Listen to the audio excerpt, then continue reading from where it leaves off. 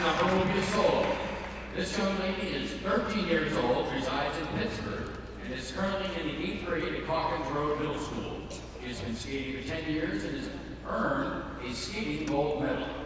She has completed, excuse me, competed at North Atlantic Regionals, Eastern Sectionals, and at Junior Nationals.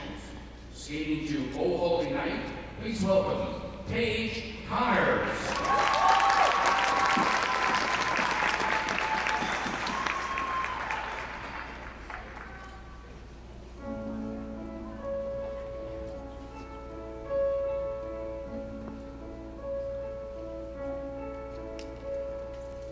Oh.